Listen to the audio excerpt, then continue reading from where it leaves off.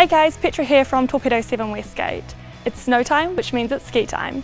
If you're looking at buying some new skis, you've come to the right place.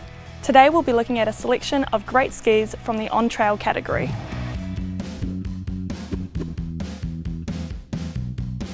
On-trail skis are designed to maximise your ski experience on the groomed slopes.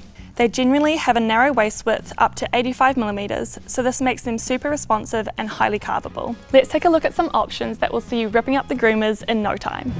First up we have the Salomon S47 coupled with the M10 bindings. This beginner to intermediate level ski is really well suited to skiers who spend most of their time resort skiing on trail but want to get out and experience off-piste skiing when the snow conditions suit.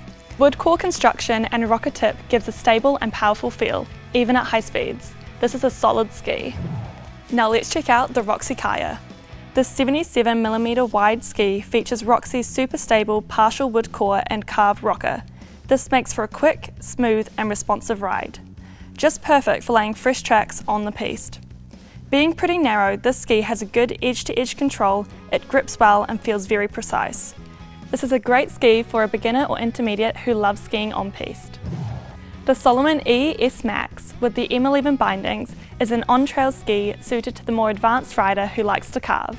This combination is Salomon's lightest binding and lightest ski so far. It's been engineered to provide women with all the performance they need without any unnecessary bulk. This ski lets you aim for true perfection in every on-piste turn. So we've taken a look at a few of our options from the on-trail ski category.